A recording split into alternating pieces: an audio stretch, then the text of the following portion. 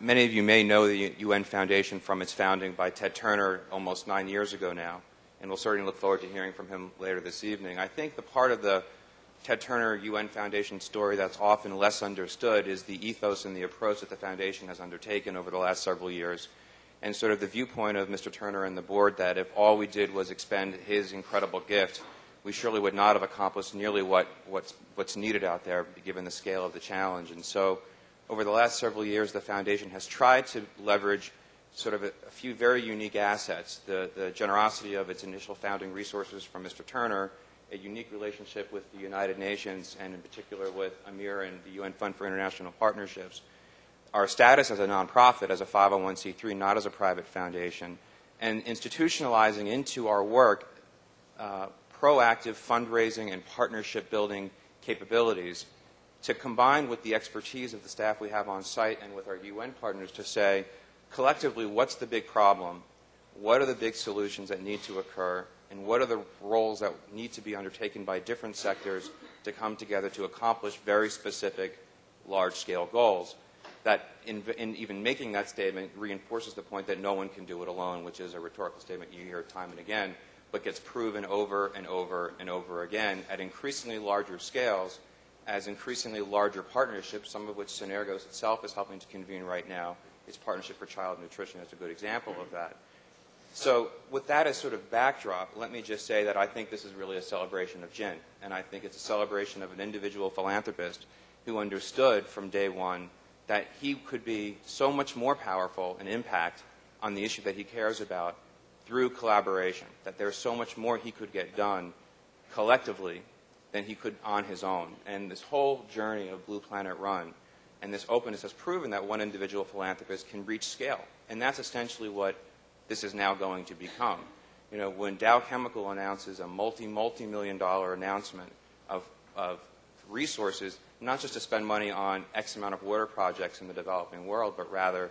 to fund a global movement and an awareness program. It's not by accident, for those of you who may or may not have seen Dow Chemical commercials lately, that it starts with water and ends with a runner. And what you will see is a very sophisticated,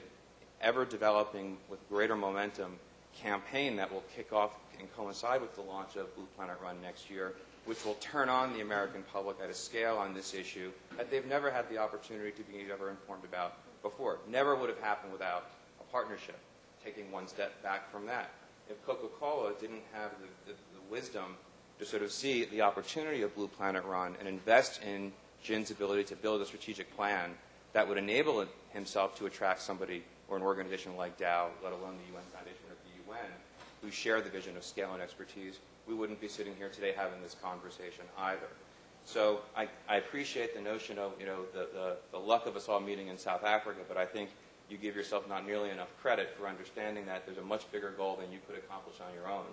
and you set out from day one to do this in a, in a collaborative manner. So I think that for us, it's, a, it's an honor to be able to work with you because you know, Mr. Turner you know, has you know, a public persona and people hear about the UN Foundation, but really, you know, the example that you are, you are now making happen is, is really the essence of what the whole idea behind the UN Foundation is, which is collective solutions to large-scale problems, and acknowledging that every sector and every individual and organization has a role that they can play, that is not in and of itself complete. So you're a great embodiment of that. Um, I think the only other comment I'd want to make, uh,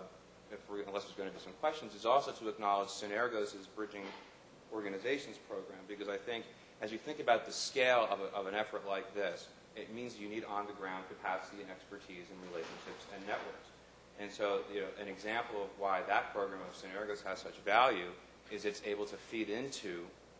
opportunities like this to help them accomplish the goals that they need in the, in the regions. It's one thing for someone to sit up here and say we need scale and we need expertise. It's another thing to build a global program that has a global vision and local partners.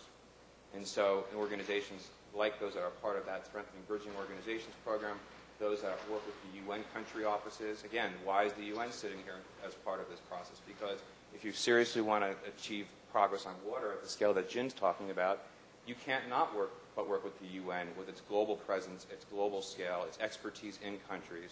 and its relationships with country governments, who without, you wouldn't be able to do this work in those countries. So what you see is an alliance behind a much larger goal than any one of these enterprises could, could do on their own. So I think I'll actually stop there and just again, you know, congratulate you, Jin, on, on what you've done and say that, you know, give yourself a little more credit. You've earned it.